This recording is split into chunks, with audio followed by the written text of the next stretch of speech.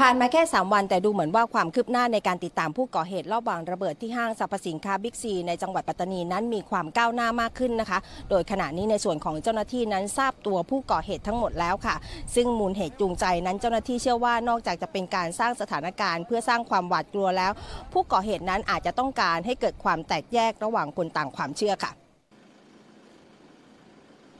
เจ้าหน้าที่ใช้เครื่องตัดสัญญาณโทรศัพท์มือถือก่อนเข้าตรวจสอบที่เกิดเหตุยิงหม้อแปลงไฟฟ้าที่หมู่หนึ่งตำบลดอนรักอำเภอหนองจิกจังหวัดปัตตานีเมื่อช่วงเช้าที่ผ่านมานะคะทำให้หม้อแปลงไฟฟ้าเสียหาย เบื้องต้นเจ้าหน้าที่เชื่อว่าเป็นการสร้างเหตุก่อกวนเพื่อตอบโต้เจ้าหน้าที่ค่ะ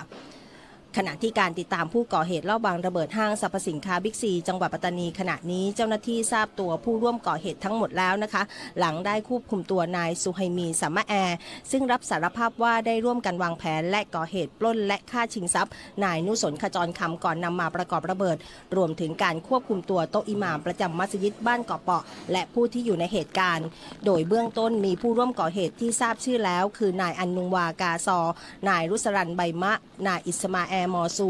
นายเมาลานาสามะนายอับดุลอาซิจปากิยา นายมนาเซไซดี และนายมูฮัมหมัดกาซอค่ะ โดยทั้งหมดนั้นเป็นผู้ต้องหาในคดีความมั่นคงมาก่อน แต่ว่าในเบื้องต้นเจ้าหน้าที่ได้เตรียมออกหมายจับเพิ่มอีกหนึ่งคน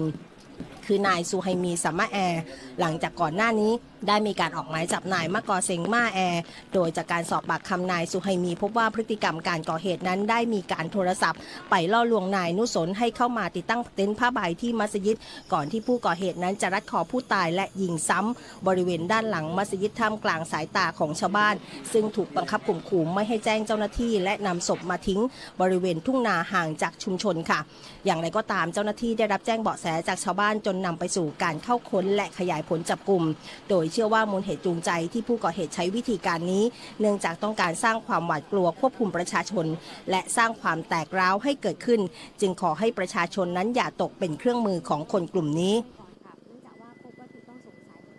เป้าหมายของการก่อเหตุครั้งนี้เพื่อสร้างความแตกแยกระหว่างประชาชนต่างศาสนานะครับ ถ้าเราไม่วิเคราะห์ไม่ไม่พิจารณาอย่างรอบด้านอย่างรอบคอบ นะครับ ก็จะตกเป็นเหยื่อของวงจรนะครับอุบาทที่เขาพยายามจะสร้างความแตกแยกตลอดมาในระยะ 13 ปีที่ผ่านมา ขณะที่การตรวจสอบประวัติของผู้ที่เกี่ยวข้องบางคน ซึ่งเคยเข้าร่วมในโครงการพาคนกลับบ้านของกองทัพภาคที่ 4 ผู้บังคับการหน่วยเฉพาะกิจจังหวัดปัตตานีระบุว่าโครงการนี้ยังมีความจำเป็นนะคะ เพราะว่าผู้เข้าร่วมโครงการหลายคนให้ข้อมูลที่เป็นประโยชน์ต่อเจ้าหน้าที่จนนำไปสู่การจับกลุ่มขยายผลได้หลายคดี แต่อาจมีความจำเป็นต้องดูแลให้มากขึ้น